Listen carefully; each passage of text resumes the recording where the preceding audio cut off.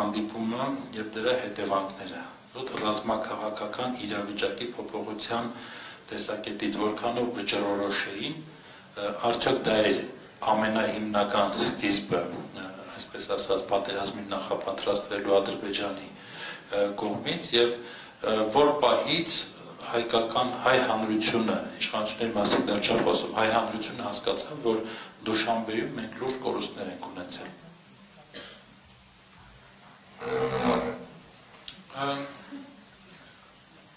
Ես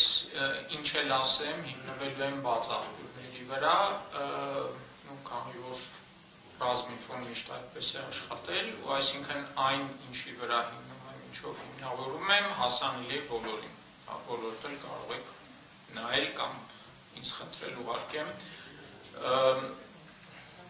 Պատերազմի սկզբի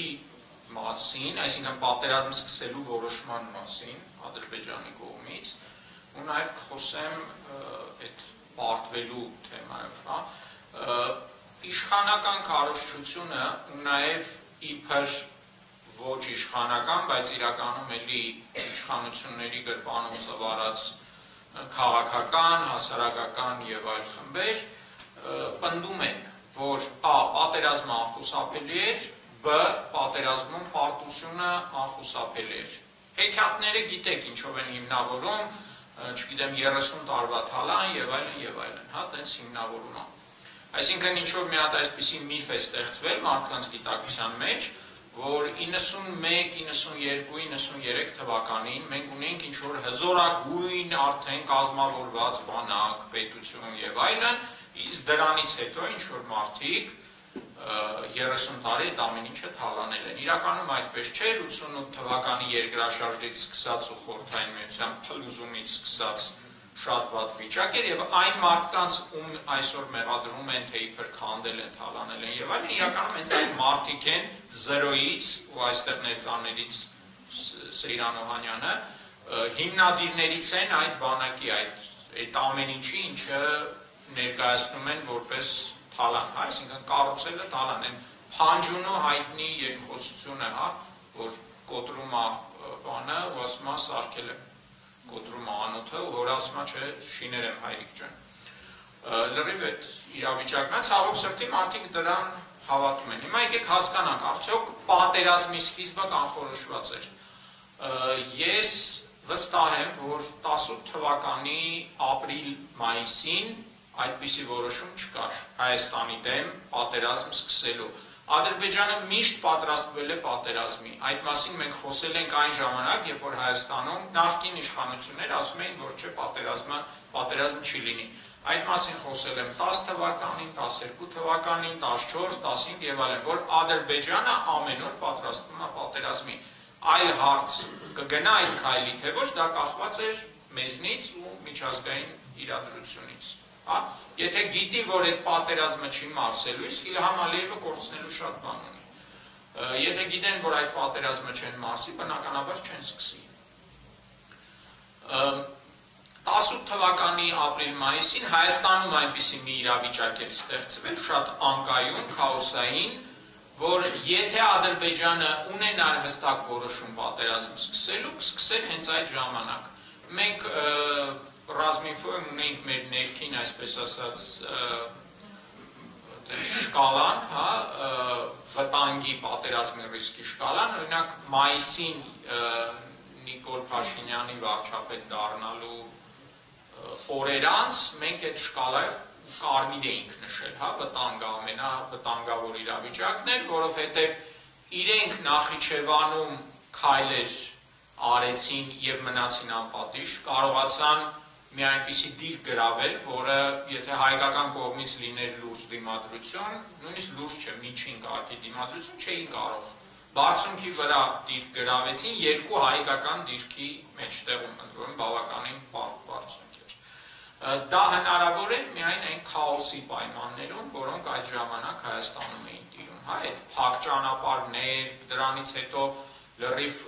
պետական ըստ էության պետական կառույցները չէին աշխատում, հա, ամիսներով, շաբաթներով, ամիսներով նույնիսկ նոր տնօրեն չէին նշանակում, չգիտեմ, նոր մի խոսքով այդ քաոսային իրավիճակում Ադրբեջանը այնուամենայնիվ որևէ բացի այդ Նախճեվանի գործողությունից որևէ այլ քայլեր չձեռնարկեց։ Այսինքն իրենք այդ պահին լայնամասշտաբ պատերազմ սկսելու որոշում չունեին։ Ակնհայտ հակառակ դեպքում կսկսեին։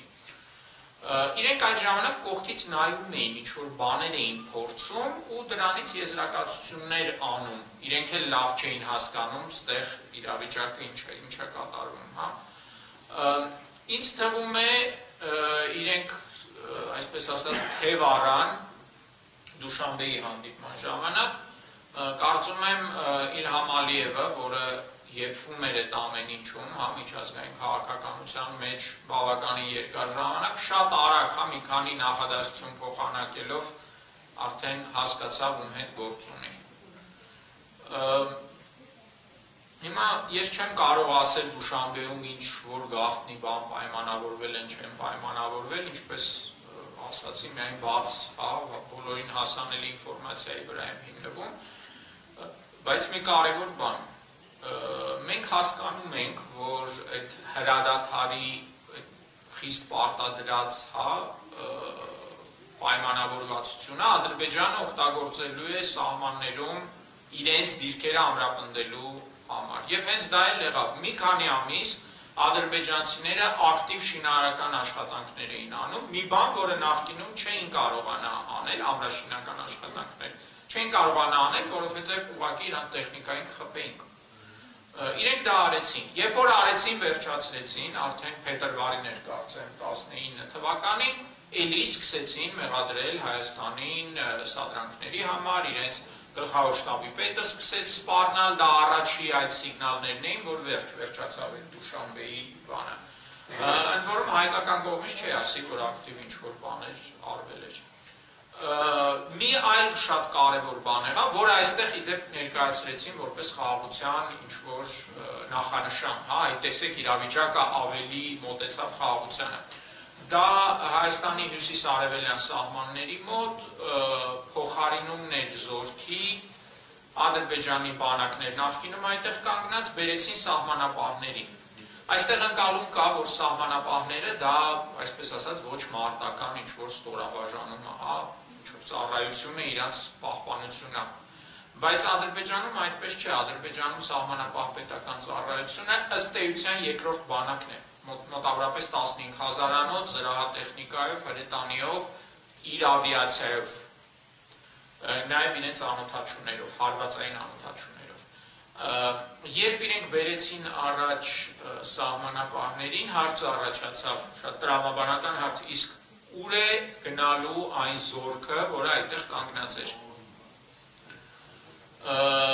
Այդ զորքը ըստ էության դարձավ ռեզերվ Ադրբեջանի համար, հենց Արցախի ռազմաճակատի համար։ Այդ մասին փաստորեն, ինչպես հետո արդեն բացահայտումներից པարզ դարձավ, այդ թեման քննարկվել է 2020 թվականի սեպտեմբերին մինչև պատերազմը, երբ ՀԱՊԿ առաջարկեց Հայաստանին զորավարժություն անցկացնել, այդ թղթե ու դա հաստատեց հետո անվտանգության խորհրդի քարտուղարներ, այդ թղթերում նշված էր դա որպես ռիսկ, ոչ թե որպես խաղաղության հաստատման ինչ-որ նշան, այլ ընդհակառակը որպես ռիսկ, որ Ադրբեջանը զորք է ազատում, լրացուցիչ ռեզերվ է ստացել մի քանի հազարանոց Արցախի ուղղության համար։ Սա երկրորդ շատ լուրջ մտահոգիչ հարցն էր։ Իմ կարծիքով, սա իմ կարծիքն է, Ադրբեջանում պատերազմի որոշումը կայացվել է ոչ թե մի անգամից, այ որ այս սենցա լինելու, այլ դրան եկել են աստիճանաբար։ Դրան եկել են տեսնելով Հայաստանում պետական կառավարման համակարգում տիրող իրավիճակը, տեսնելով թե պետական կառավարման համակարգը ինչպես է արձագանքում այս կամ այն ճգնաժամերի Նախ բանակում ինչ կատարվեց, ինչպես արդեն նշեցիք, բանակում սկսվեց այդ ռուսները բառն են, չեխարդա, հա, խաղատենց։ Այդ կադրային չեխարդան անդադ սկսեցին փոխել կորպուսների հրամանատարներ, գլխավոր շտաբի պետեր եւ Հայաստանում, Հայաստանի Հանրապետությունում եւ պաշտպանության բանակում Արցախի։ Ըստ էության մենք երբ որ եկանք պատերազմի, դա 2.5 տարում արդեն երրորդ գլխավոր շտաբի պետն էր Հայաստանում։ Էլ չեմ ասում, քանի տեղակալներ փոխվեցին այդ ընթացքում,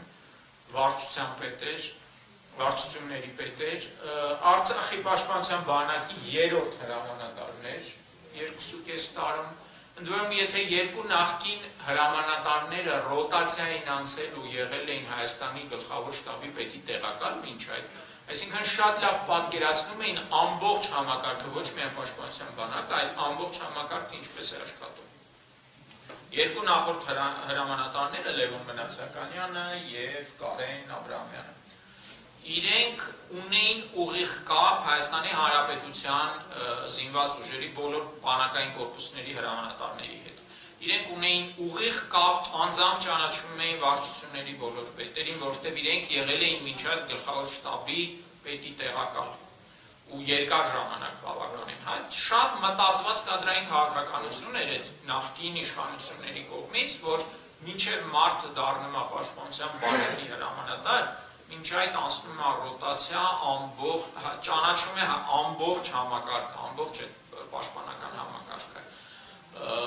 Վերջի հրամանատարը պաշտպանության բանակի այդ ռոտացիան չէր անցել եւ նա չպետք է նշանակվեր պաշտպանության բանակի հրամանատար այդ իր նշանակումը, այսպես ասած, մի քանի ավելի հարմար տեխնացուներին թռնելով եղավ, անցնելով, հա, Այսինքն հաստատ ամենալավ տեխնացուն չէր, որ կարող էր լինել այդ պահին։ Այս ամեն ինչը հասկանում եք, չէ՞, որ Ադրբեջանը այդ ամեն ինչը ֆիքսում է իր մոտ, գրանցում է, ասում է, այստեղ փոխվեց այսինչ հրամանատարը։ Միանգամից հոգեբանական դիմանկար են կազմում, միանգամից նայում են ու որտեղ ինչ ասել, ոնց ասել եւ այլն եւ այլն։ Պլյուս ունեն իրենց հետախուզական տվյալները։ Այսինքն Ադրբեջանը հստակ տեսնում էր, որ քանդվում էր պաշտպանական համակարգը։ Ու անպատրաստ էր գուցե 3, 4, 5 տարուց այդ մարդիկ ինչ որ բան սովորեին,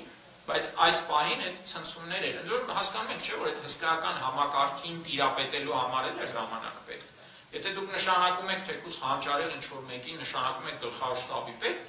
նրանք պետք է 5-6 ամիս առնվազն որ սկսի հունի մեջ մտնել, որ այդ համակարգը ճանաչի, սկսի կառավարել, հա սա այդ կադրային քանդելու հարցը։ Երկրորդ լուրջ խնդիրը, առաջին լուրջ փորձությունը, որ եղավ, դա այդ կոവിഡ്ի համաճարակի հետ կապված գործողություններն էին Հայաստանի իշխանությունների։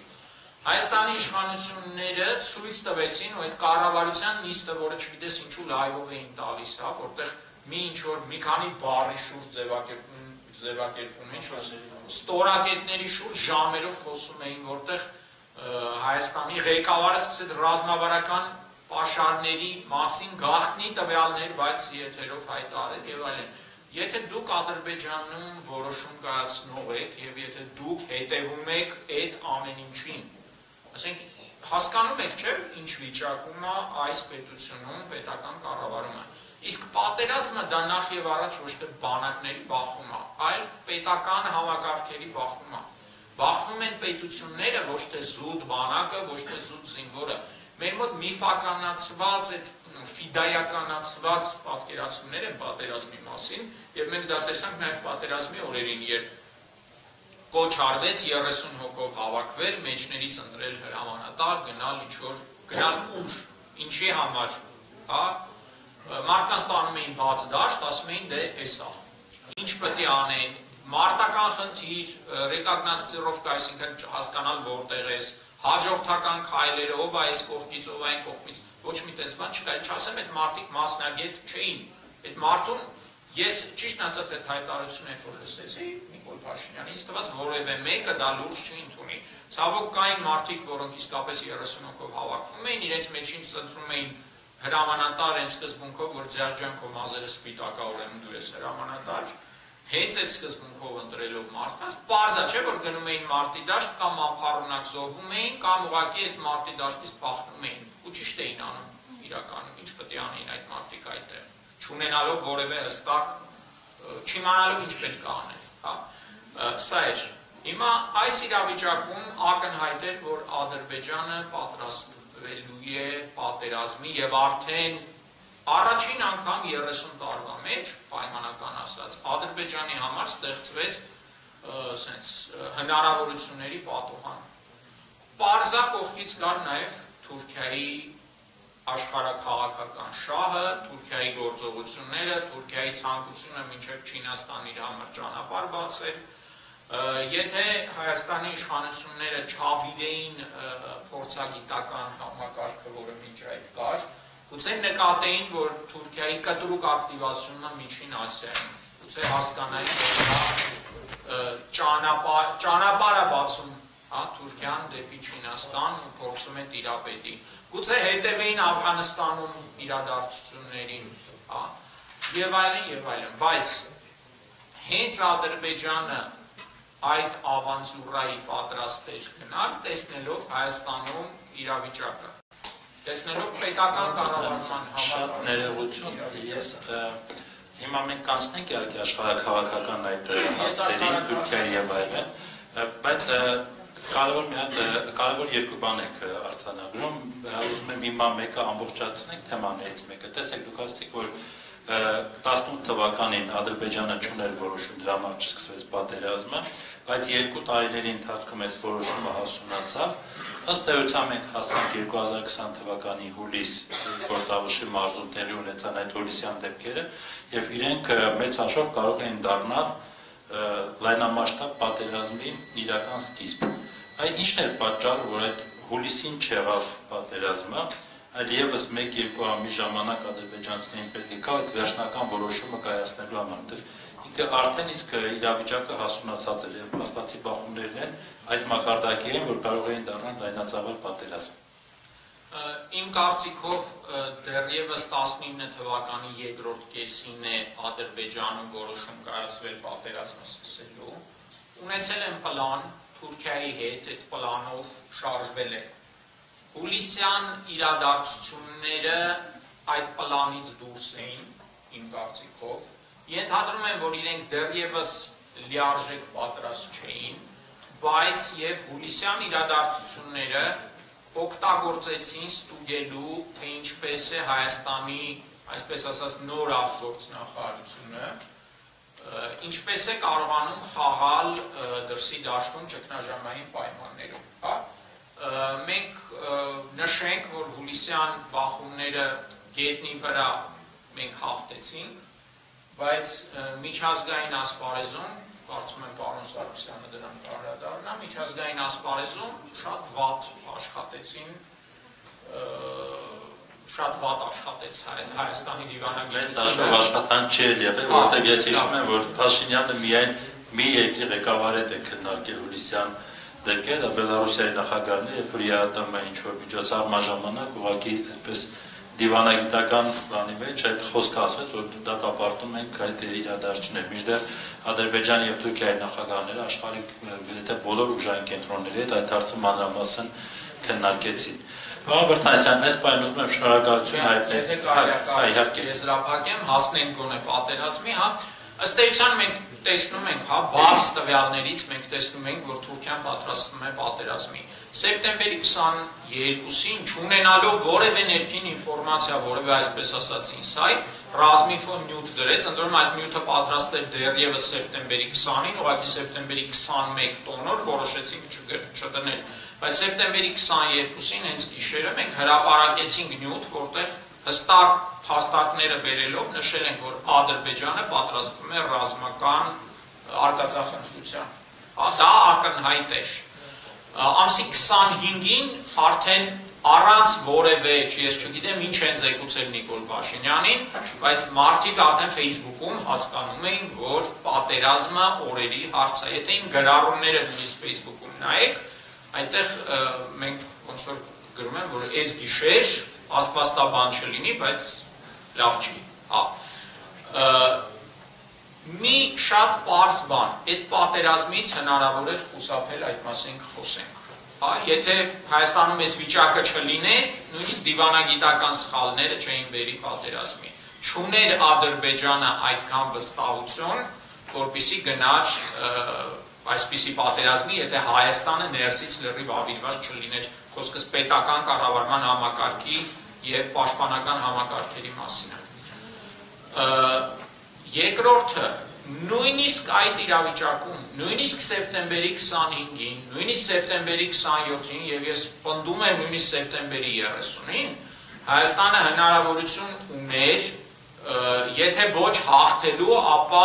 այսպես ասած, ոչ ոքի անելու այդ պատերազմը, իսկ գուցե նաև հաղթելու։ Որովհետև նույնիսկ այս խայտարակ կառավարման պայմաններում Ադրբեջանին պահանջվեց 44 օր, որպիսի կարողանա ինչ որ մի բանի հասնելու, այնպես չի, որ դա կկարողանային պահել նաև եւս երկու շաբաթ մեծ հարցեր կկարողանան Շուշին պահել, թե ոչ, որովհետև իրենք գործում էին իրենց ռեսուրսների այն վերջի բանում, հա։ Այսպիսով այդ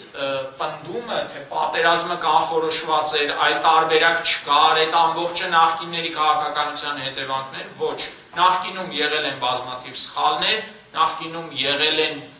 շատ բաներ, որ պետք է արվել, չի արվել, բայց դրանցից եւ ոչ ոքը ոչ մի սխալ, ոչ մի չարած բան չի կանխորոշել պատերազմի սկիզբը, երկրորդը դրանցից ոչ ոք չի կանխորոշել պարտությունը։ Ուրույն կարելի Չէ, նայել ջան, կքննարկենք իհարկե, մենք ցավոք սրտի ժամանակը թվում էր թե երկար է, հա, մեկ համար, բայց մեկ ժամ արդեն անցել է եւ դեռ դարիճ հետ պետք է աշխատենք կվերադառնանք դա։ Խնդիրը, գիտեք, ես նախ ուզում եմ պարոն Վրտանիսյանի ասած մի կարող խնդիր հիմա ֆիքսենք, հետագայում միգուցե մեկ այլ քննարկման թեմա դարձնելու համար դա պետական համակարգերի գործունեությունն է, որովհետև ցավոք սրտի մայ թե համեմատություններ անցկացնենք նախապատերազմյան եւ հետպատերազմյան իրավիճակում պետական համակարգերի պատրաստվածության մասին, մեր մասած մի քիչ էլ Երանի ենք տալու նրան ինչ որ կար միջև պատերազմը որովհետև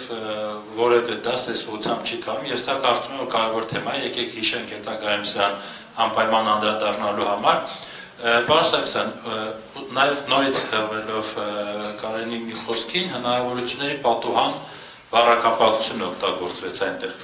Ադրբեջանը ստացել է բացի այսինքն բոլոր այն գործոններից, որոնք արկա էին Հայաստանում, որոնք թույլատնում են մեր պաշտպանակությունը, բայց նաև այդ հնարավորությունների պատուհան արտահայտություն օգտագործվեց եւ ես հիշում եմ, որ պատերազմից առաջ այդ հնարավորությունների պատուհանը մենք ինքներս մեր հետ քննարկումներում փակ, բաց եւ այլն շատ ենք դրա մասին խոսում, հաճախ եղվելով միացյալ նահանգներում սպասվող նախագահական ընտրությունների պաստի Ռուսաստանի ակտիվությանը մերձավոր արևելքում եւ այլն Թուրքիայի հետ նրանց հարաբերությունների կարգավորման տեսակետից եւ այլն։ Այդ հնարավորությունների պատուհան ասվածն եմ ուզում գնահատեք, որքանով է դա իրական պատուհան եւ ինչու ինչու այդ պատուհանը բացվեց Ադրբեջանի համար ամենակարևոր հարցն է։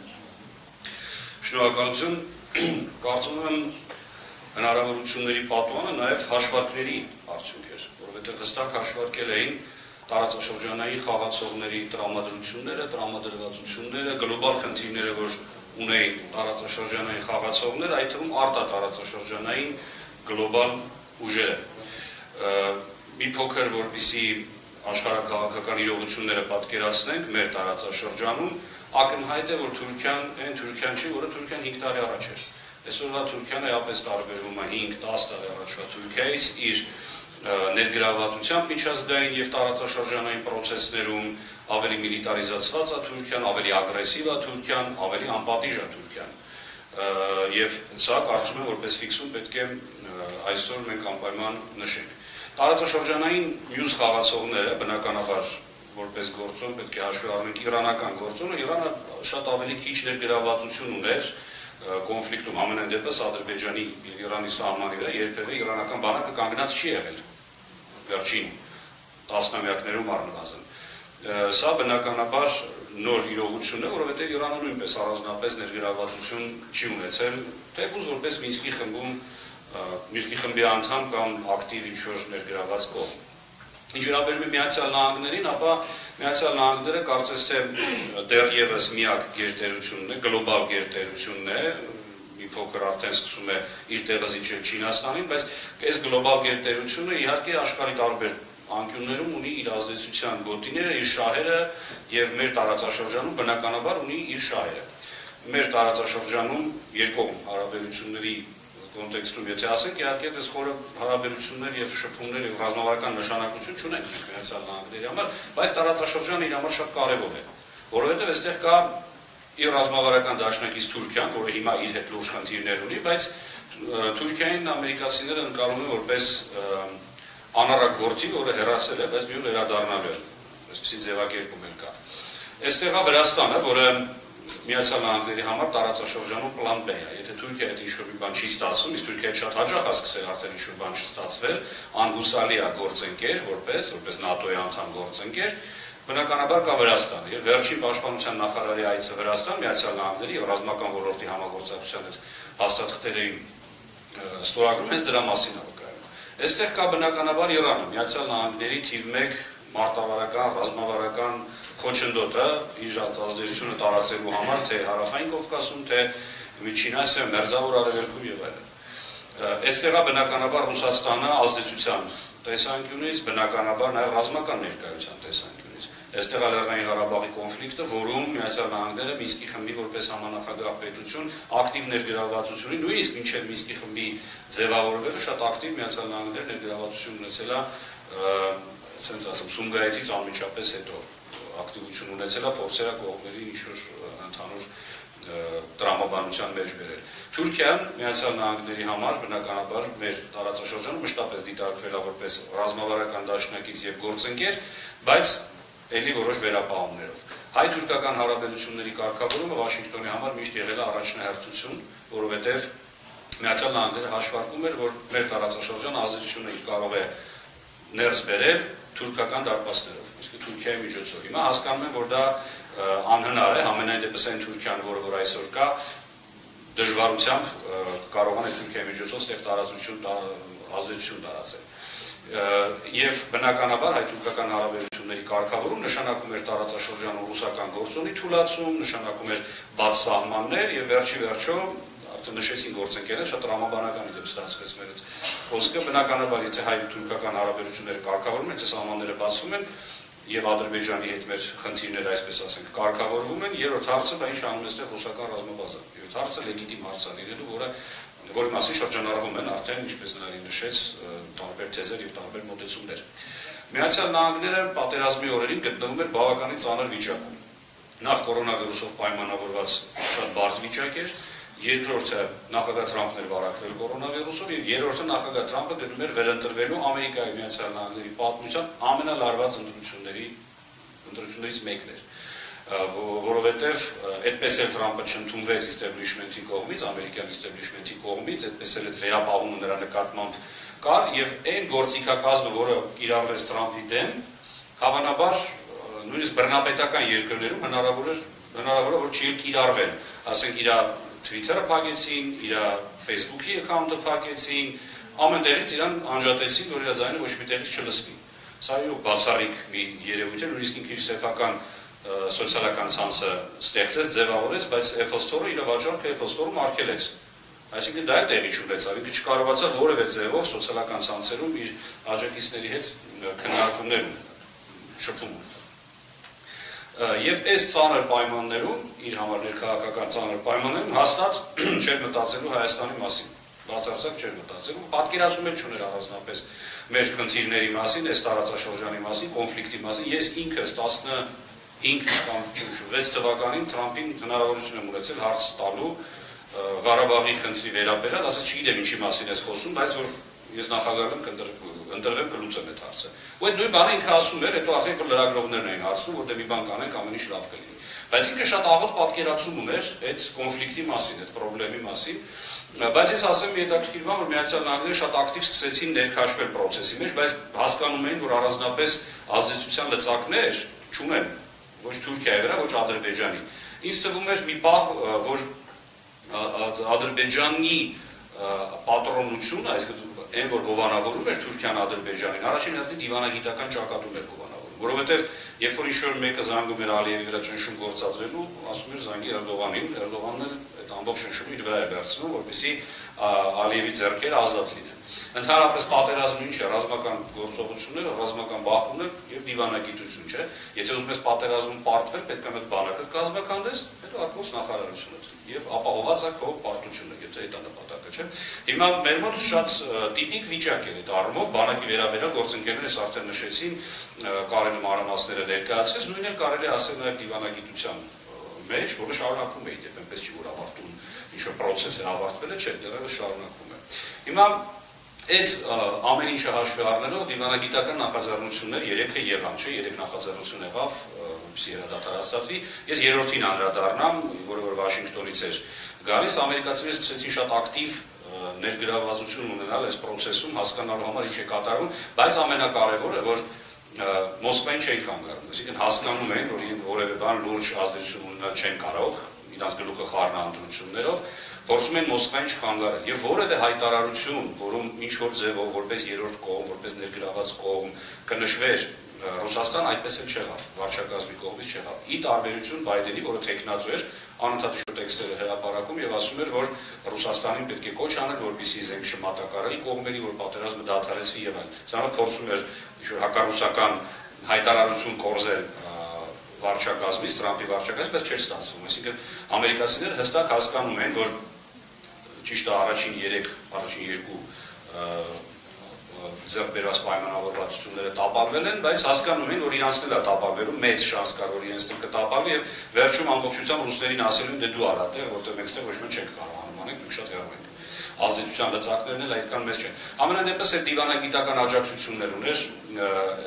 Էրդողանից, Էրդողանը շատ բան իր վրա է վերցնում, նաեւ եթե հետևենք այդ օրերի հերախոսազրույցները Թուրքիայի նախագահի տարբեր մարդկանց հետ, Ադրբեջանի նախագահի տարբեր պաշտոնյանը, կտեսնենք, որ շատ լուրջ այդ աջակցությունը ստացվում է։ Մի կարևոր բանի եմ ուզում անդրադառնամ, արդյոք նկատելի էր, որ Ադրբեջանը նախապատրաստվում է ռազմական գործողությունների։ Մենք մեր կենտրոնը մշտապես մոնիտորինգի տակ է պահում ԱՄՆ-ի եւ Ադրբեջանի փոխհարաբերությունները եւ այդ ընթացքում մենք նաեւ առևտրաշրջանառությունն ենք ուզում հասկանալ թե ինչ են ադրբեջանցիները ներմուծում Միացյալ Նահանգների։ Շատ հետաքրքիր է, որ շատ ակտիվ ձևով վերջին պատերազմի նախորդող երևի թե 7-8 ամիսների կտրվածքով շատ ակտիվ բերում էին դրոնների պուսկավոր մեխանիզմներ է հայերեն թարգմանվում, ամենայն դեպս մոտ 50-60 հատի մասին մենք հստակ գիտենք, որ 50-60 հատ այդ դրոնների բուսկավոր մեխանիզմները բերել են։ Ես այդ փոխանցեցի մեր պաշտպանության նախարարությանը մի փողովակ ունի, այդ փողովակով փոխանցեցի, հետո էլ չհասկացա գնաց տեղ հասավ թե չհասավ։ Բացի դրանից շատ ակտիվ ներմուծում էին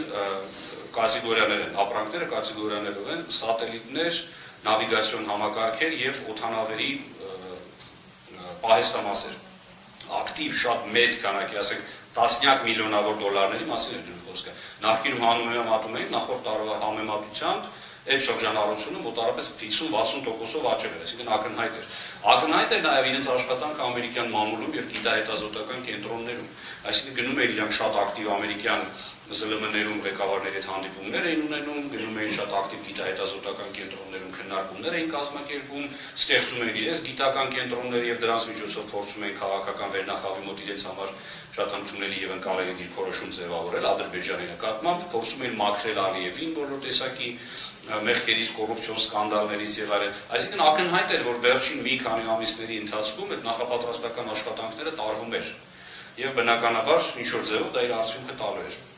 Բայց նորից եմ ասում, իմ կարծիքով հաշվարկած էր պատերազմի սկիզբը նաև Ամերիկայի հետ ամերիկյան ընտրությունը, որտեղ ակնհայտ էր դարել, որ դրանք շատ լարված են լինելու եւ Միացյալ Նահանգները մեծ հաշվով այդ խաղից դուրս է մնալու, որովհետեւ բոլորը զբաղված են լինելու ընտրություններով։ Սա էր հիմնական տենց շատ շատ հակիրճ եթե ներկայացնեմ պատերազմից առաջ պատկերը Միացյալ Նահանգների մեր տարածաշրջանային ազդեցություն։ Չմոռանանք, որ Միացյալ Նահանգների դեսպանությունը այս առաջինն էր, որ հայտարարություն տարածեց, ասես մեր քաղաքացիներին խնդրում ենք սահմաններից հեռու գտնվել։ Նման հայտարարություններ այո լինում են, բայց այս ձևի, այս բովանդակության, այս հստակության չեր եղել։ Նաև ինձ այդ ժամանակ խնդրեցին, ասեցին, եթե կարելի է մի մեկնաբանի, որ ինչ-որ տրամադրություններ հրահրվեն կամ չգիտեմ, ոնց տեքստը գրած է, դրած է, ինչ է նշանակում, ոնց կմեկնաբանես, մարդիկ կարծում են, հասկանում են, թե ինչի մասին է գնում խոսքը։ Այսինքն բոլորը հասկանում են, բոլորը գիտեն, թե այս ամեն ինչը ուր է գնում, բայց համաձայն եմ նաև կարելի այն մտքի հետ, որ այդ կարմիր գիծը նույնիսկ մինչև ամսի 30-ը միգուցե հնարավոր էր լրիվ ուրիշ պատկեր ունենալ, բայց ցավոք սրտի դա մեզ չհաջողվեց։ Սա շատ գլոբալ փորձեցի առանց խորանալու դետալների մեջ, որովհետեւ հարցու պատասխանի համար նաև ժամանակ թողնեմ, որտեղ վստահ եմ շատ հարցեր առաջանան այս բոլոր առաջ քաշված թեզերի մտքերի հետ։ Շնորհակալ եմ շատ, այնուամենայնիվ մի հարցում պիտի խնդրեմ մի քիչ փորձենք ավելի մանրամասնել։ Տեսեք, արտգործնախարարների այցը Միացյալ Նահանգներ պատերազմի ժամանակ հոկտեմբերի 21-ին էր։ Կարելի ասել ամենաթեժ պահին, երբ որ արդեն ակնհայտ է, որ ինչպես նաև դուք ասացիք, Միացյալ Նահանգները ամեն ինչ փորձում են գործողել դեպի Ռուսաստան եւ փորձում են կոպիտ ասած ձերքերը լվանալ այս հարցից, ցույց տալու որ իրենք ներսում ավելի լուրջ խնդիրներ ունեն իրենց համար եւ հանկարծ արտգործնախարարները գնում են այնտեղ, որտեղից չկա ազդեցության դծակներ, որտեղից ըստ էության չի կարող լինել նաեւ լուծում։ Սա ինչ է, որ ընդորում այդ այցի երկար տևեց, չէ, 3 թե 4 օր կարծեմ թե արտգործնախարարը Միացյալ Նահանգներում էր, վերջի օրերս զբաղված էր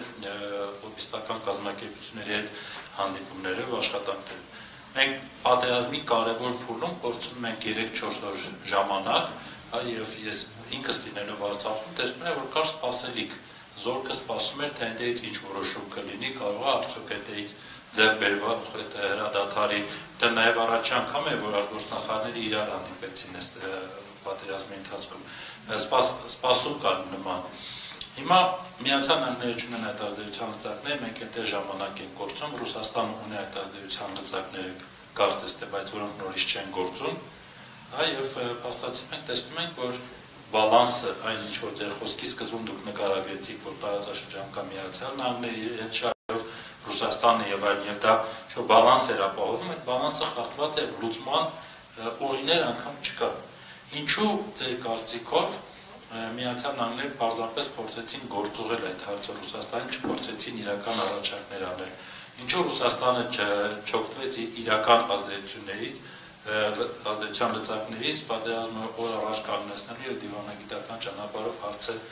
առաջ տանելու համար եւ ամենակարևոր ինչու՞ն, ինչու մենք գնացինք այնտեղ ժամանակը կորցրեցինք, հա երբ որ ակնհայտ է որ լուծում այս հանդիպումներում չի լինի Շնորհակալություն։ Մի քանի կարևոր արձանագրում կա։ Նախ վստահ եմ ամերիկացիները տեղյակ են, որ հոկտեմբերի 17-ը Ռուսաստանի նախագահը մեզ առաջարկել է, ասել է կարող ենք հենց հիմա կանգնացնել եւ ստացել է բացասական պատասխան։ Սա միանշանակ ամերիկացիները գիտեն։ Մյուս կարևոր հանգամանքն այն է, որ Միացյալ Նահանգները որպես Միսկի խմբի համանախագահ մի անգամ փորձ էր կատարել հրադադարի Ռուսաստանը, մի անգամ Ֆրանսիան, երրորդը ինքը պետք է աներ։ Հակառակ բարագայում իր ներգրավվածությունը այս ամեն ինչի մեջ կլիներ անիմաստ բնականաբար կանչեց, հրավիրեց եւ վերջին իշխանապողությունից հետո առաջին անգամ Հայաստանի եւ Ամերիկայի Միացյալ Նահանգների բարձրաստիճան պաշտոնյաները հանդիպեցին։ Ընդհանրապես պատերվակը պատերազմներ, ուրիշ պատերվակ չկա։ Իդեպ չգիտեմ ֆիքսել եք թե չէ, բայց հայ-ամերիկյան բարձր հարաբերություններ, բարձր մակարդակի հարաբերություններ, որպես այդպեսին չկան, բարձր մակարդակի շփումներ չկան, վերջին բարձր մակարդակի հանդիպումը կամ հերախոսազրույցը եղել է փոխնախագահ Պենսի եւ նախագահ Սերժ Սարգսյանի միջեւ։ Դրանից հետո որևէ բարձր մակարդակի հանդիպում ոչ նախագահների կամ վարչապետի, ոչ պաշտպանության նախարարի եւ պաշտպանության քարտուղարի, ոչ արտգործ նախարարի եւ պետքարտուղար չեն եղել այդ հանդիպումները բացարձակ։ Եվ սա ինչի մասին է խոսում, որ առանձնապես օրակարգ չկա, առանձնապես հետաքրքրված չեն մեզանից։ Բայց համեմատության մեջ ասեմ, որ Ադրբեջանի հետ այդ ուղիղ շփումները կան եւ շարունակում են կարծես թե իրեն։ Հիմա Միացյալ Նահանգների հերթն է փորձելու ինչ որ բան անել, բայց ես կարծում եմ իրենք էլ առանձնապես հույս չունեն, որտեղ եթե աչքի առաջ ունեն երկու տապալված հրադադար, եթե աչքի առաջ ունեն Մոսկվայի կողմից առաջարկված տարբերակ ամսի 17-ին կանգնեցնելու չի ստացվել, իրանք էլ առանձնապես հույս չունեն, որ դա տեղի ունենալու եւ հրադադարի պայմանավորվածությունից րոպեներ անց նորից հրադադարի ռեժիմը խախտվեց։ Այսինքն ամերիկացիները իրենց փորձը պետք է անեն, որպեսզի հետո ասեն դե մենք էլ փորձեցինք, հետ չընկանք։ Մանավանդ որ Թրամփին մեղադրում են, որ արտաքին քաղաքականությունը է, չի զբաղվում արտաքին քաղաքականությամբ, Բայդենն էլ անընդհատ այդ ժամանակ տեքստեր էր հրապարակում քննադատելով Ղարաբաղի հարցում Թրամփի անգործությունը, դե պատկերացրեք այդ բացակցության մեջ այդ ներքին քաղաքական կռվի մեջ իհարկե սա իր ազդեցությունն ունենում է եւ դրա համար այդ նախաձեռնությունը եղավ նաեւ որպիսի ներքաղաքական process-ներում հետո դրություններ Ամերիկայում շուտ հայերի մի քանի հազար կամ մի քանի 10000 հայերի զայները ոչ մի ձև չէին խանգարի Թրամփին Եվ դա իրականում եթե տեսակ, հենց այդ ժամանակ այդպես էլ արվում էր։ Հանդիպում էր ինչ-որ ընտրողների հետ Հայաստանի դրոշով ընտրողները գալիս են, ինչ-որ բան են գորում, ինչ-որ բան պատասխանում, ասում են այո, ես այդ հարցը կլուծեմ, հեշտ հարց է եւ այլն։ Այսինքն դա օգտագործվել նաև ներքաղաքական process-ներում, ինչպես որ միշտ եղել է ամերիկյան նախագահական ընտրություններում։ Շնորհակալություն։ Ցավոք այդ ինչ որ լսում ենք հիմա Սուրեն Սարգսյանից եւ նաեւ մնացած վերլուծությունների իրենք իսկապես հերո գնացող հետևությունների առիթ են տալիս, որովհետեւ դե եկեք համաձայնենք, որ այդպես չի լինում, եթե հզոր տերություններ 25 տարի շարունակ համագործակցել մի խնդրի շուրջ ունենան ձևավորված սկզբունքներ, օրինակ ուժ չկիրառելու մասին, խաղ կարգավորման եւ այլն այդ տերությունները այդ հարցերի շուրջ տարաձայնություններ ից խուսափեցին անգամ 2013 թվականին, երբ որ 13 թվական վերջից սկսած, երբ որ ուկրաինական ճգնաժամը ամբողջ տարածաշրջանում ռուս-ամերիկյան համագործակցությունը փոխեց եւ դրանից առաջի 2008 թվականի վրացոսական պատերազմի ժամանակ ունենալով հակադիր դիրքորոշումներ եւ այնուամենայնիվ Արցախի հարցում համագործակցությունը շարունակեց եւ հանկարծ եկանք մի հանգրվանի եւ ամեն ինչ կարծես այսպես անջատվում է ուշադրությունը շեղվում է բոլորի մեկը դեպի ընդունություն, մեկը դեպի այլ հարցեր եւ ստեղծվում այն հնարավորությունների պատուհանը Ադրբեջանի համար, որի մասին խոսում էր Կարեն Վրթանիսյանը։ Մինչ դարձին հարցեր հարցերի իրավունք տալը ես այնուամենայնիվ նայ կուզեի որպեսի հնչեցնեի այն ինչ որ ուզում էի Կարենից ճշտել առաջի հարցի իրավունքը փոխանցեմ ձեզ, հետո հասնենք Շնորհակալություն Կարեն նաև պարոն Վրթանեսյանը, քանի որ խոսեց ընդհանուր այդ հնարավորությունների պատուհանի եւ բանակի եւ բանակի եւ դիվանագիտության այսպես ասենք ծնկի բերելու մասին, հա, ուզում եի սուբյեկտիվ վերլուծությունը հաշվի առնելով Ռազմինֆոյի եւ Կարեն Վրթանեսյանի մասնավորապես երկարատև տարիների փորձը եւ այլն։ Ինչ եք կարծում, դա ուղակի անշնորհքության հետևանք էր, թե միտումնավոր պետք էր այդպես անել։ Այդ հարցը քննարկվել է բազմիցս, հա, եւ ընդհանրապես 18 թվականից սկսած կոնկրետ հա փոքր հարցերով, օրինակ արդյոք հիմարության կամ ինչ որ կույր ատելության հետևանքեր Յուրի Խաչատուրովին հապկի քարտուղարի պաշտոնում իր դեմ քրեական գործ հարուցելու այդ սկանդալային հա բաներով հանելը հապկի հետ իրավի հարաբերությունները սրելը եւ այլն եւ այլն ու հետո 3 տարի մունատ գալը թե հապկը մեզ չի օգնում հա արդյոք դա հիմարություն էր թե թե հապկ էր արվել հա հարցա արդյոք Դուշանբեում այդ անհասկանալի վերելակային ֆլիրտը դա անփորձության հետևանք էր, թե հապուկ էր արվել։ Եվ այլն, եւ այլն, եւ այլն։ Խնդիրը հետեւյալն է, ու կարծես թե այդ հարցում կոնսենսուս կա։ Չի կարելի անընդհատ անել սխալներ այդ կարգի լուրջ սխալներ, հա, անհնարին է դա բացատրել զուտ ապուշությամբ, որովհետև այդ կարգի ապուշները չէին կարող իշխանությունը պահել։ Մենք տեսանք շատ լավ, թե ինչ վիրտուոզ կերպով, ինչ վճռականորեն պայքարեցին իշխանության համար այնպիսի մի իրավիճակում, որում գուցե Չերչիլը կամ Դեգոլը չկարողանային իշխանությունը պահեին, Նիկոլ Փաշինյանը կարողացավ իշխանությունը պահել Ոնց է այդպես լինում, որ մի հարցում սենց վիրտուոզ աշխատանք հա հանճարեղ, մյուս հարցում, մյուս բոլոր հարցերում այսպիսի տապալումներ են։ Ինձ թվում է այդ հարցերը արդեն մենք այնպիսի իրավիճակում ենք, որ երկիրը այնպիսի իրավիճակում է, որ այդ հարցերը արդեն պետք է տան սենց ասեմ համապատասխան մարմինները, հա, իրավասու մարմինները պետք է այդ հարցերը բարձրացնեն քրեական գործեր հարուցեն եւ այդ քրեական գործերի շրջանակներում տարբեր ակտորներին, խաղացողներին ներգրավեն, հա։ Ես գիտեք ոնց հա, ինչպես արդեն նշեց հրանտը առաջին անգամ կարող ենք սխալից խոսել, երկրորդ անգամ զուգադիպությունից լավ 10 անգամ։ Բայց ոչ անընդհատ, ախր խնդիրն այն է, որ լավ ենթադրենք այդ ինչ որ սենց ամեն ինչը վատ էր, բայց հատուկ չէր արվում։ Իսկ պատերազմից հետո ինչ է արվում։ Եթե մարդը ի վերջո ասում է, որ այսպիսի վատ փաստաթուղթ տա մեր դիմացը դրած, հա, կապիտուլյացիա ըստ էության։ Երբ որ հոկտեմբերի 27-ին կարծեմ Վազգեն Մանուկյանը, հա, Վազգեն Մանուկյանը կոչ արեց, որ պետք է արդեն ինչ որ սա հանրային, հա, մոբիլիզացիա է պետք, ու այս հարցը արդեն պետք է ուրիշ կերպ լուծել։ Ինչի այդ ժամանակ այդ մինչև վերջ կանգնեցին ու պայքարեցին դրա դեմ։ Ի վերջո եթե մի կողմ դնենք թշնամու հետ ինչ որ մի համաձայնություն ունենալ չունենալու հարցը, հա։ Երբ որ ասում ենք պետական դավաճանություն, մենք դա պատկերացնում ենք միայն որպես, չգիտեմ, Իլհամ Ալիևը կամ Էրդողանը փողա տվել կամ ինչ որ մի այլ բան է խոստացել, դրա դիմաց ինչ որ քայլեր այստեղից են արվել։ Շատերս դա ենք պատկերացնում։ Բայց արդյոք պետական դավաճանություն չէ վարչապետի կամ նախարարի երթմունքը դրժելը Այսինքն, եթե դու երթվում ես, որ պետք է պաշտպանես Հայաստանի շահերը, անվտանգությունը եւ այլն եւ այլն, ու անում ես հակառակ քայլեր։ Ասում ես, իմ տպավորությամբ կարող էր վատ բան լինել, դրա համար ամենայն դեպս Սյունիքը թողեցի անպաշտպան։ Հա, այդպես է ստացվում, որ ասում եմ, մենք մեր բարձունքներից հետ ենք քաշվել, բարձունքները տվել ենք թշնամ, որտեղ այդպիսի տպավորություն կար։ Ստացվում է, փաստորեն թշնամուց նույնիսկ պահանջ չի եղել ինչ որ ձևի ֆիքսած, հա։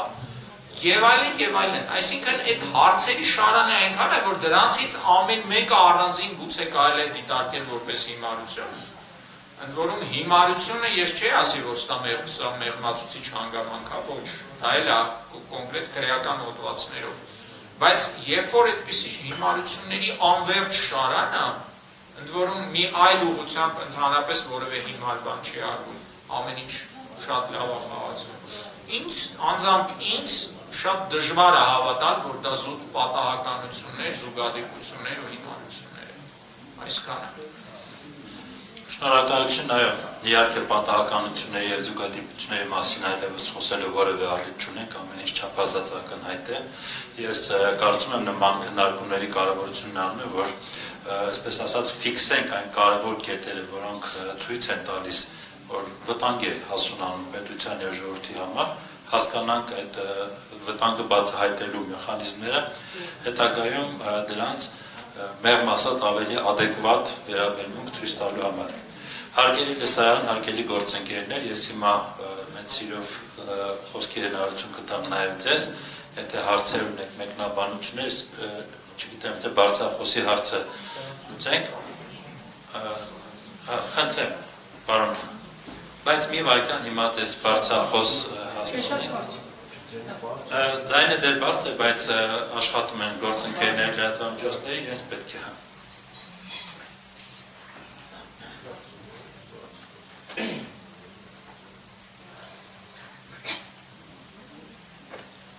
Մեգարակյան հիմա կլինի։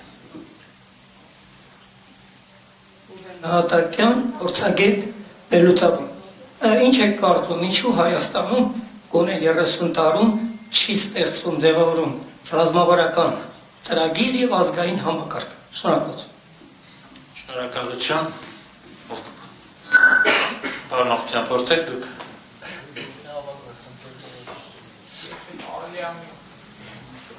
Ճիշտ ասած, կարծես թե այսօրվա քննարկման հետ կապ ունի, բայց բուն թեմայից մի քիչ դուրս է ձեր հարցը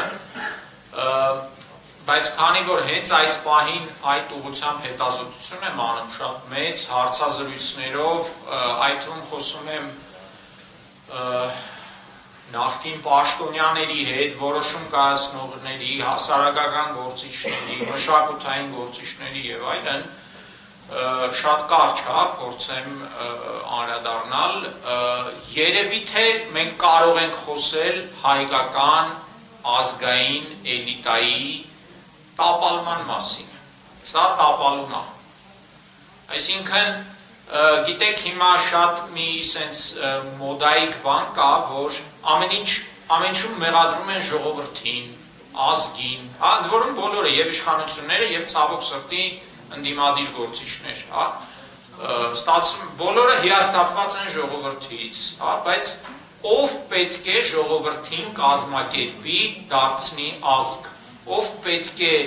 ունենա ռազմավարական մտածողություն եւ տանի ժողովրդին ինչ որ ուղությամբ, զարգացման ուղությամբ։ Դա էլիտայի խնդիրն է, հենց դրա համար է կոչվում էլիտա։ Էլիտան շատ զուտ շատ փող ունենալով չի, էլիտան կրթություն ունենալով չի, էլիտան դա հենց ռազմավարական մտածողությունն է, էլիտան դա կարողությունն է ճգնաժամային իրավիճակում անորոշության պայմաններում որոշումներ կայացնելը։ Ես չեմ ասում մենք չունեինք ազգային էլիտա, մենք ունեինք ազգային էլիտա։ Ու ըստ էության իմ կարծիքն է սա սուբյեկտիվ բան եմ ասում 18 թվականին այն այն էլիտան, որը հասավ իշխանության, գուցե դա ոչ թե Հայաստանի, այլ հակա-հայաստանի էլիտա էր։ Հակա-հայաստանյան, որովհետև քանդում են ոչ միայն Հայաստանի ինչ-որ մասը, այլ ամբողջ Հայաստանը ես սա կանվանեի էլիտայի տապալում եւ որպես հետևանք մոդեռնիզացիայի ուշացում։ Մենք ըստ էության մնացել ենք 90-ականների մարտահրավերների մակարդակում։ Մեր մեխանիզմները 90-ականների 2000-ականների մարտահրավերներին են պատրաստ մենք կորցրեցինք մոդեռնիզացիայի հնարավորությունը ու մի շատ կարևոր բան է շատ մարդիկ, որոնք 18 թվականի ապրիլին աչակցում էին Նիկոլ Փաշինյանին, իրենց հետ խոսում եմ, խոսքս մտածող մարդկանց մասին է։ Իրենք վերլուծել կարողացող չէ։ Ընդունում են, որ սխալ էին արել։ Իրենք ասում են, որ Նիկոլ Փաշինյանը ունիկալ շանս ուներ Հայաստանի մոդեռնիզացիա սկսելու, որովհետև ուներ այն լեգիտիմությունը, որը կարող էր օգնել իրեն թեկուս էլիտաների դիմադրությունը հաղթահարել այդ մոդեռնիզացիայի համար։ Ուն կար հավատ, կար մոբիլիզացիա եւ այդ ամեն ինչը խայտարակ ձևի մսխեց։ Նույն սկզբանե ինքը որ ոչ ուներ այդ կարողությունը, ոչ էլ ուզում էր ինչ որ մեկին լսել այդ հարցում։ Այսքանը։ Շնորհակալություն։ Պարոն Սարգսյան ավելացնել բաններ։ Ես զուտ ավելացնեմ մի փոքր տեխնիկական, այսպես ասած, բան եթե խոսքը գնում էր նաև ռազմավարական նշանակության փաստաթղթերի մասին, ռազմավարական բնույթի, օրինակ ազգային անվտանգության ռազմավարության մասին, նույնիսկ Միացյալ Նահանգների նման գերտերությունը, որը պլանավորման խնդիր որպես այդպես ինչ ունի, քան ինստիտուտներ ունի պլանա։ Ինքը տարին մեկ անգամ ըստ օրենսդրության պարտավոր է նախագահը ընդունի ազգային անվտանգության ռազմավարություն։ Եթե ոչինչ չի փոխվում, կարող է նախորդ տարվան ուժի մեջ մնալ, բայց օրենքով իր վրա դրած է պարտավորություն տարին մեկ անգամ թարմացնել, որովհետև արագ է փոխվում աշխարհը, մարտահրավերները շատ արագ են փոխվում, իրողությունները շատ արագ են փոխվում։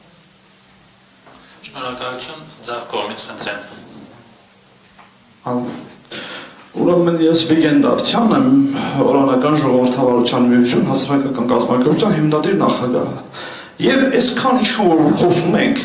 բազում անգամներ լսել ենք, շարունակ լսել ենք սրանից հետոյի մասին, Կասեք հասկանանք։ Ես գիտեմ Նիկոլ Փաշինյանը որտեղից աճե, ո՞նց է զարգացել, ո՞նց է ժողովուրդը կառանվել իրեն։ 13 տարի իմ արծծած հորթն ա եղել ինքը։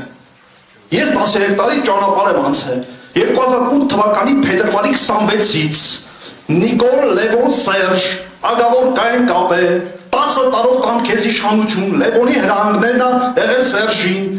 10 տարվա մեջ Նիկոլայ թող ազգային ժողովում կպնի ֆլան ֆստան Բեֆանին, Հովիկ Աբրամյանին, մի խոսքով բոլորին ժողովուրդը կանվեն դեպի Նիկոլ։ Կամ ինքը բանակ չէր ծառայել։ Ոնց կարող բանակի կարգ ու կանոնը որոշում կայացներ։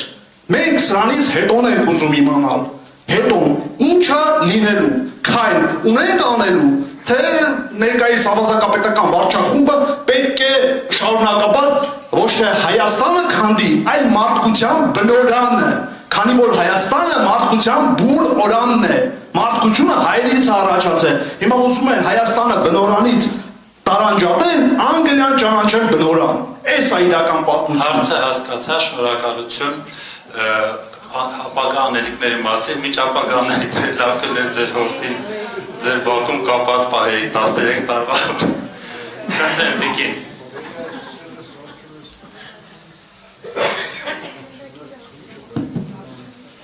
Գրող ազատամարտիկ Նարեսոս է։ Հարցս պարոն Սարգսյանն եմ ուզում ուղղել կոնկրետ։ Ակնհայտ է, որ Թուրքիան լինելով անգամ ՆԱՏՕ-ի անդամ, ինքը ունի իր թուրանական ծրագիրը եւ նա ոչ մի բանի առաջ կանգ չի առնի, անգամ Ղրիմի մասին էր խոսքը գնում։ Ռուսաստանը զբաղված է Դոնբասի պատերազմով։ Ինչպիսի դիվիդենտներ մենք կարող ենք շահել, եթե Թուրքիային հանկարծ չկարողանա սանձել Ամերիկայի Միացյալ Նահանգները, այսինքն այդ թվում նաև ՆԱՏՕ-ն ու բոլորս գիտենք, որ Ամերիկան մեծ ձայն ունի այդ կազմակերպության մեջ, բացի անգլիից, եւ ինչ կարող ենք այդ պահին մենք ձեռք բերել, երբ Թուրքիան չի ենթարկվի ՆԱՏՕ-ի պահանջներին, ինչին որ գնում է հիմա, ինչ քայլերի որ հիմա ակնհայտ տեսնում ենք, բոլոր գիտակից մարդիկ դա տեսնում են, եւ կարող ենք արդյոք մենք փոխարինել B պլանը Վրաստանից մեր երկրում, քանի որ ակնհայտ տեսնում ենք, որ վրացիները մեկնալին են խփում մեկ մեխին ու նրանք խաղում են երկդիմի խաղ, ինչպես ամբողջ պատմության ընթացքում իրենց։ Շնորհակալություն։ Շնորհակալություն։ Թուրքիան Էրդողանական Թուրքիան, ինչպես արդեն նշեցի, իհապես տարբերվում է ցանկացած այլ տեսակի եւ այլ ժամանակաշրջանի Թուրքիայից։ Թուրքիայի նախագահ Էրդողան աշխարհի ամենա մարդն է։ Ինչ ուզում անում է, որտեղ ուզում անում է եւ դրա համար երբեք չի պատժում։ Սիրիայում մտնում է ցեղասպանություն է կազմակերպում, մտնում է Իրաքի ինքնիշխան տարածք, քրդերի նկատմամբ ամեն ինչ գիտեք ինչեր է կիրառում, Վաշինգտոնի կենտրոնում ծեծում Ամերիկայի Միացյալ Նահանգների քաղաքացին ու դրա քաղաքացիներին ու դրա համար չի պատժվում։ Ռուսական ինքնաթիռ է խոցում եւ մեծ հաշվով չի։ Իսկ ինչու։ Որովհետեւ ինքը ունի շատ ուժեղ բանակ առաջին հերթին, որովհետեւ ինքը դարել է տարածաշրջանային լուրջ խաղացող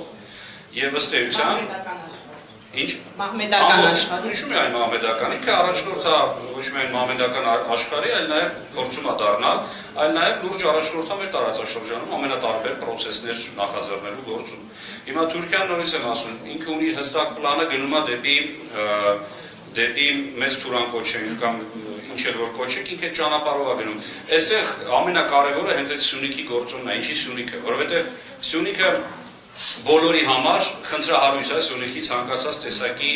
կարգավիճակի փոփոխություն, որտեղ Սյունիքը Իրանի համար ոչ միայն արտաքին սահման է, այլ նաև Իրանի եւ ԵԱՏՄ-ի միակ ցամաքային սահմանն է։ Դեպի ծով դուրս գալու միակ տարբերակն է, եթե ուզում է դուրս գա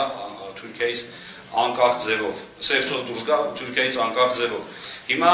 եթե Իրանը կորցնում է իր արտաքին սահմանը, ինքը ազդեցության տակ անգնում ՆԱՏՕ-ի անդամ Թուրքիայից։ Սա լուրջ խնդիր է իր համար։ Դրա համար էլ այսօր իրանական բանակը կանգնած է Նախիջևանում։ Եվ բնականաբար կան աշխարհում պետություններ, ում ռազմավարական պլանավորման մեջ նշված է, որ շատ լավ կլինի, որ Իրանը զրկվի արտաքին սահմաններից։ Ակնհայտ է, չէ՞։ Հիմա Իրանն էլ հասկանում է, որ հիմա մի բացառիկ իրավիճակ է ստեղծվել, երբ որ ինքը արտաքին սահմանից զրկվելու խնդիր ունի։ Այդ թվում նաև Ամերիկայի համար է, չէ՞։ Բնականաբար առաջին հերթին Միացյալ Նահանգների թիվ 1 մրցակից է Թշնամի Նախոյանը, հիմա Իրանն է։ Այնպես որ այս ամեն ինչը հաշվի առնելով բնականաբար նաև պետք է հաշվի առնել, որ բոլոր այս պետությունները ունեն թե ընդհանուր շահեր ամենատարբեր ոլորտներում, թե հակասող շահեր։ Եթե մենք ունենայինք adekvat դիվանագիտություն, ճիշտ գնահատեինք ռիսկերը, ճիշտ հասկանանք թե որ պետության հետ որ ոլորտում կարող ենք համագործակցել, բնականաբար կարող ենք։ Ես շատ փոքր հասարակ օրինակ բերեմ։ Ես պատերազմից մոտ 6-7 ամիս առաջ Հայաստանի իշխանություններին ասեցի առաջարկեցի ստեղծել հակահաբեկչական կենտրոն, որը նաև Միացյալ Նահանգներում ունեցած հանդիպումների ժամանակ ասեցի, որ մենք մեծ արժեքով կֆինանսավորենք այդ կենտրոնը։ Ես այդ առաջարկը փոխանցեցի, ասեցի այն մարդկանց հետ խոսեք, իրանք պատրաստ են ֆինանսավորում տալ։ Մի քանի ամիս անցավ ինձ ասեցին, պատասխան ուղարկեցին, որ Հայաստանը ահաբեկչության խնդիր չունի։ Հետո պատերազմի օրերին ասում են կարակ է դրանով ինչ որ մի բան անենք, բնականաբար արդեն ուշ է, բնականաբար ոչինչ անել չես կարող, բայց ինչ որ մի մասներ կմտածի թե միգուցե ռուսներից վախեցան, որոշեցին որ միգուցե ռուսները դրանում կարող են խնդիր տեսնել, ահակա ահաբեկչությունը աշխարհին բացառիկ ոլորտներից է, որ ամերիկացիներն ու ռուսները համատեղ աշխատում են։ Հիմա դու դրա մեջ եթե կարայր մտնեիր որպես շահառու, որպես ահաբեկչությունից կորած, ինչի՞ այդ հնարավորությունը բաց թողեցիր։ Որտեւ իրանք էին ահաբեկիչները, մենք նոր ահաբեկիչների կարիք այս Դրա համար շնորհակալություն։ շնորհակալություն ձեզ, նաև մի կարևոր հանգամանքի վրա եմ ուզում ուշադրություն հրավիրել, որ հասկանանք թե ինչպես է ընդհանրապես Թուրքիան գործում։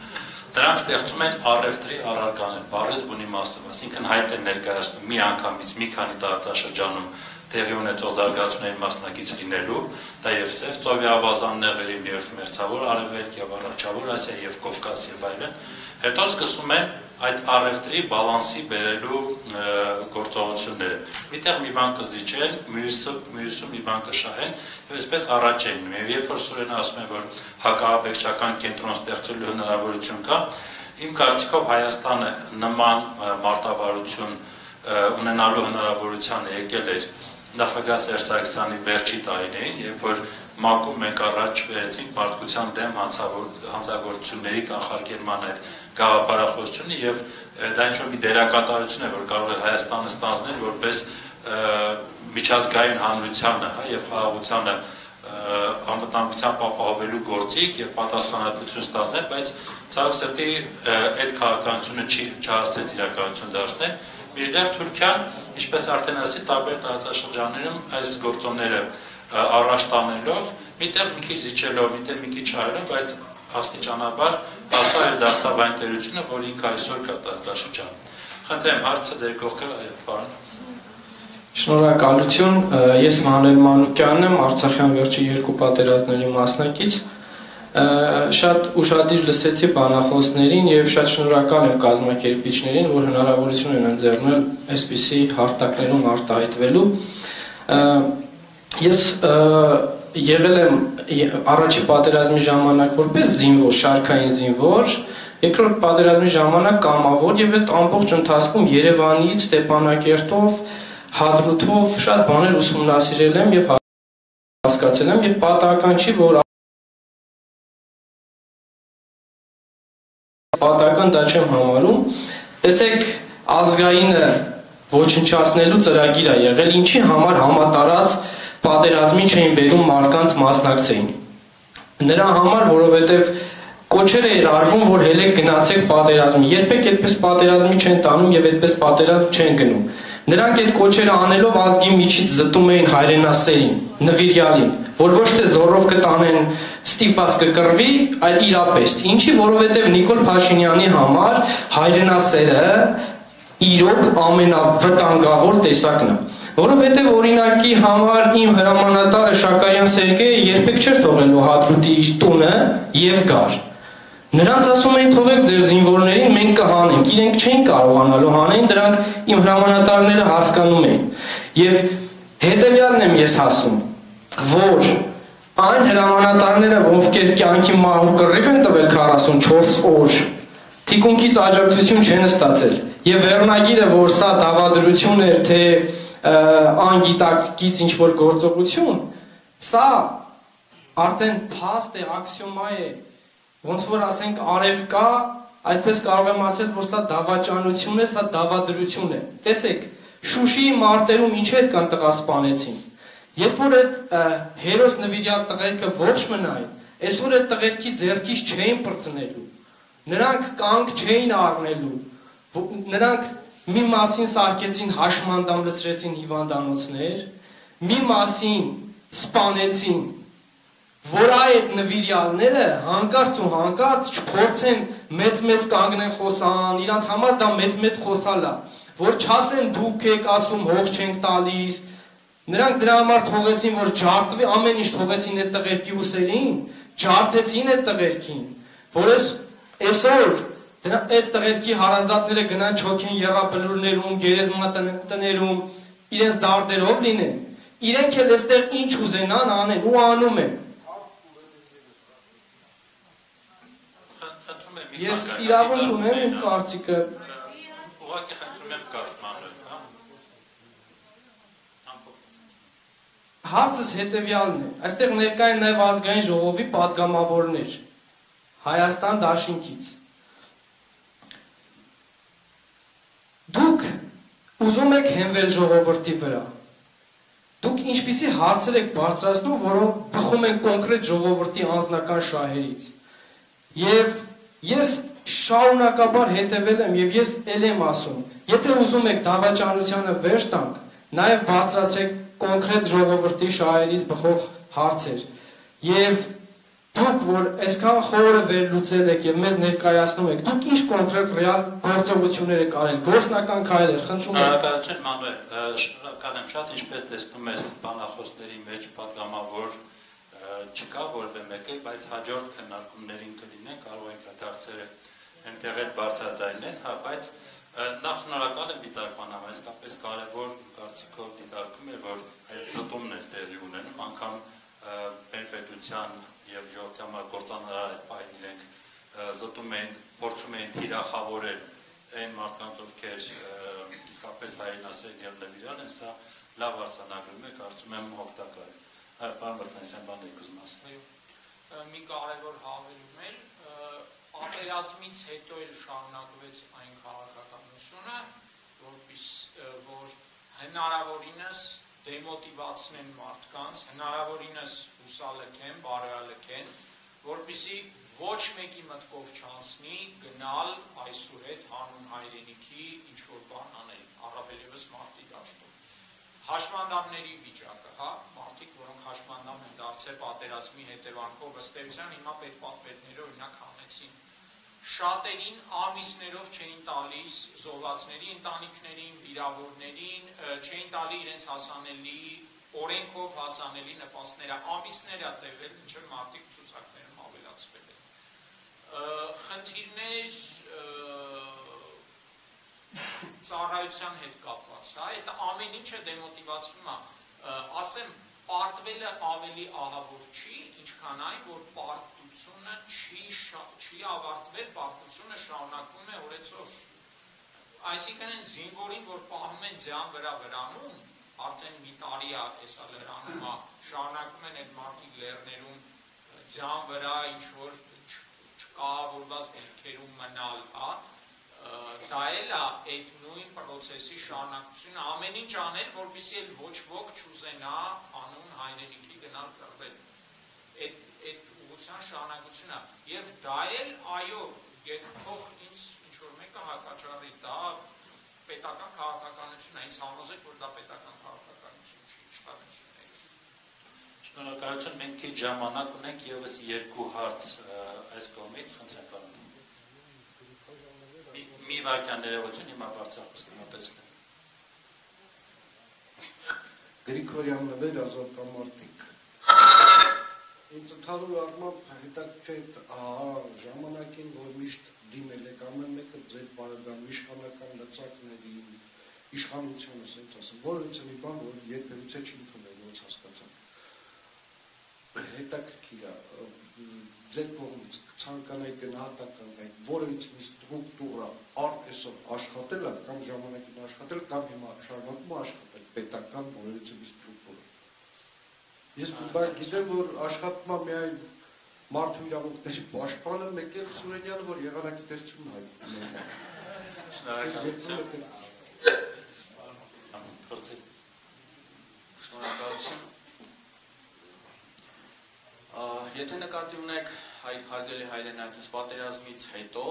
այո, պատերազմից հետո ես կրկին, ինչքան էլ որ այս կառավարությանը համարում եմ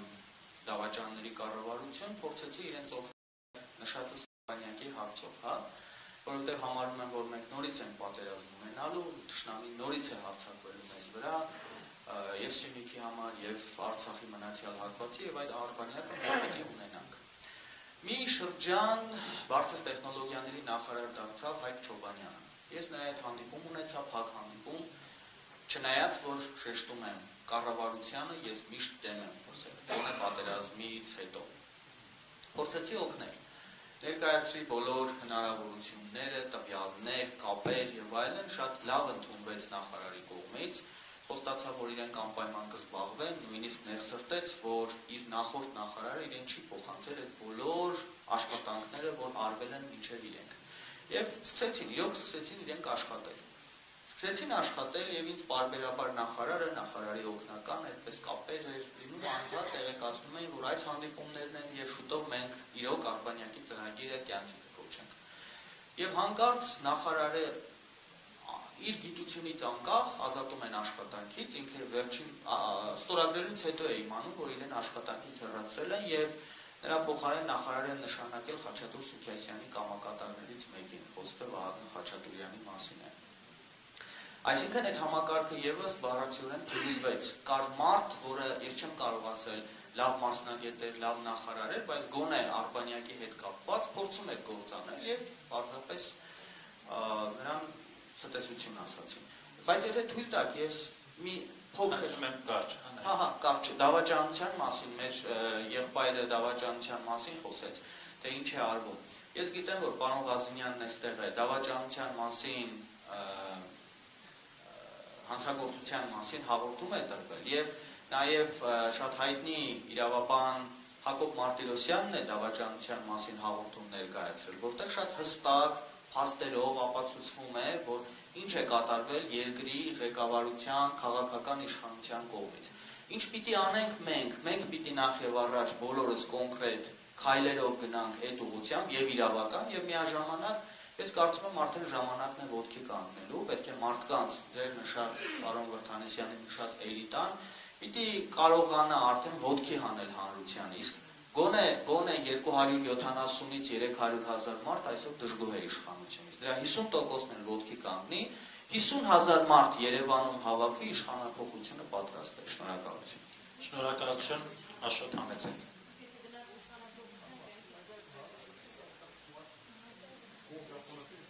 Բարձախոսը կտակ։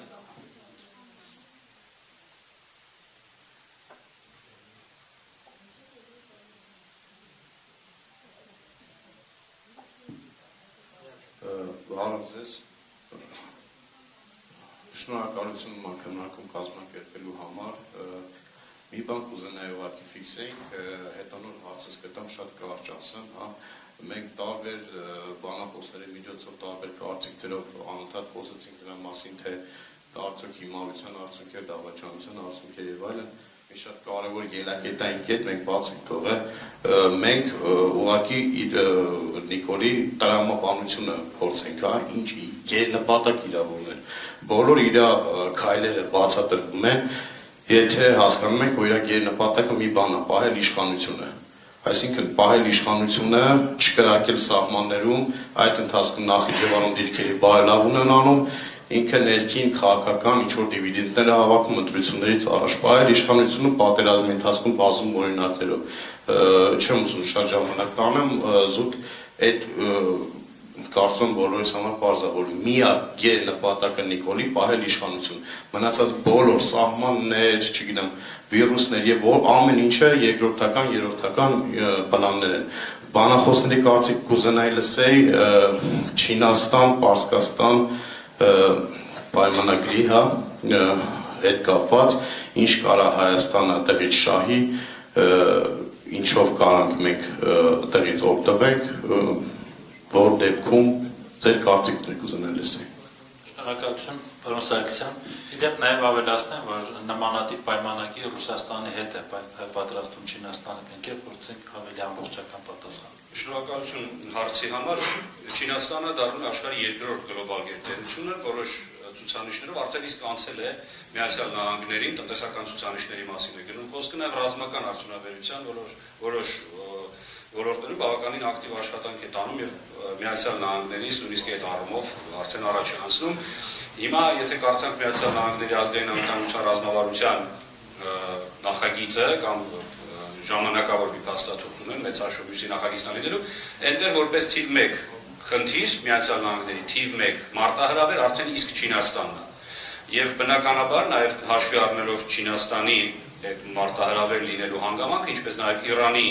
եւ Միացյալ Նահանգների հարաբերությունները, սա շատ կարևոր քաղաքական որոշում է եղել Իրանի համար, պայմանավորվածություն ձեռք բերել Չինաստանի հետ հարաբերությունները խորացնելու տեսանկյունից, Բայց մի հետաքրքիր բան էլ կա, Միացյալ Նահանգներում արդեն քննարկումներ կան փորձագիտական շրջանակներում, Միացյալ Նահանգները չի կարող զսպել Չինաստանի հաջող ազդեցություն առանց Հնդկաստանի եւ Իրանի։ Ես ստիպված է լինելու Իրանի հետ գնալ պայմանավորվածության, պայմանավորվածություններ ձեռք բերի։ Սա բնականաբար իրանական դիվանագիտության համար բացում է նորանոր եւ կարծես թե անվերջ հնարավորություններ։ Եվ պետք է նաև այս գլոբալ մրցակցության տեսանկյունից հարցը դիտարկել, որ Միացյալ Նահանգների համար հաջորդ տասնամյակների համար թիվ 1 խնդիր լինելու է Չինաստան եւ չինական ճանապարհ եւ գոտի նախագիծը, որի իրագործման համար էլ թե Հնդկաստանը, թե Աֆղանստանը եւ թե բնականաբար Իրանը ունեն կենսական նշանակություն եւ դրան էլ որպես հակակշիռ Վաշինգտոնը ձևավորել է մեծ 7-նյակի օգնությամբ այսպես կոչված Build Back Better World նախագիծը, որը շատ ավելի մեծ է լինելու ֆինանսական հոսքերի առումով, նաեւ ավելի մեծ է լինելու աշխարհագրորեն։ Ամենադեպս այդ մրցակցությունը, որը որ գլոբալ մրցակցություն է, բնականաբար նաև մեր տարածաշրջանում է լինելու այդ երկու գերհզոր տերությունների միջև, որը նաև արդեն կոչվում է երկրորդ սահապատերազմ Չինաստանի եւ արդեն Միացյալ Նահանգների միջև։ Շնորհակալություն, հարգելի գործընկերներ, ես փորձեմ կարճ ամփոփել, որովհետև մեր ժամանակը այլևս սպառվեց։ Գիտեք, երբ կազմակերպիչները հաստադրում այս կոնֆերանսի այդպես դրեցին, դա դավաճանություններ տեսավ, ես դա անցալեցի որպես ասպես ասած պրովոկացիոն կամ ոնց թե ինչ որ օբյեկտիվություն ցույց տալու փորձ, հա, բայց ակնհայտ է, որ նաև խոսքի սկզբում ասացի, որ սխալները իշխանությունները այնքան շատ են, որտեղ պատահականության մասին արդեն խոսելու որևէ առիթ մենք չունենք, ակնհայտ է, որ մեր երկիրը նպատակաուղված տարել են պարտության, ակնհայտ է, որ դա արվել է լուրջ պայմանավորվածությունների ձեռբերման արդյունքում։ Պայմանավորվող կողմերը ովքեր են եղել, Հայաստանում էին դրանք, Հայաստանից դուրս էին, որ մասներ Հայաստանում եւ որ մասներ Հայաստանից դուրս, այս ամենը իհարկե ժամանակի ընթացքում վստահ եմ, որ կպարզվի եւ հենց այդ նպատակին է ուղղված նաեւ նման քննարկումների կազմակերպումը։ Ես մի կարևոր բան եմ ուզում արձանագրել եւ դրանով սահմանափակվենք։ Տեսեք, պատերազմից 1 տարի անցել Հայաստանում ցավոք սրտի լուրջ հետազոտություններ պատերազմի մասին դեռևս մեծ հաշվով չկան կան փորձեր, կան սկիզբեր, միջդեռ օրինակ ես նայում եմ Ռուսաստանում արդեն 3 թե 4 գիրք է հրապարակվել տարբեր փորձագետների կարծիքներով,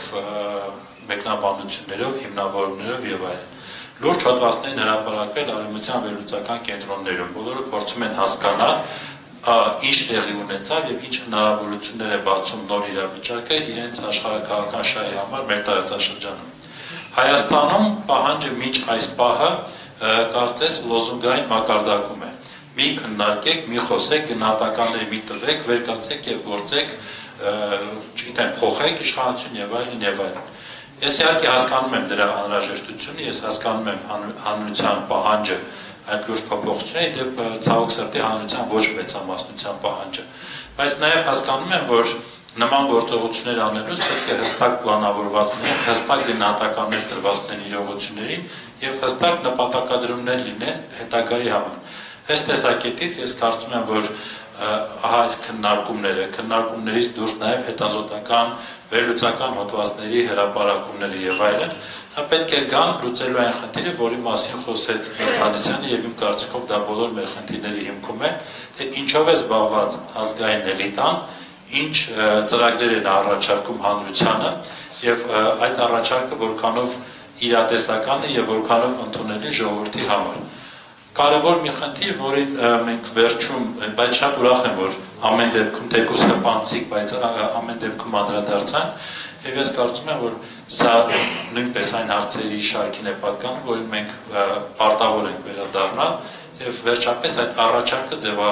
ձևակերպել ժողովրդի համար։ Հետո նոր գնալ այդ առաջարկի իրականացման ճանապարհով։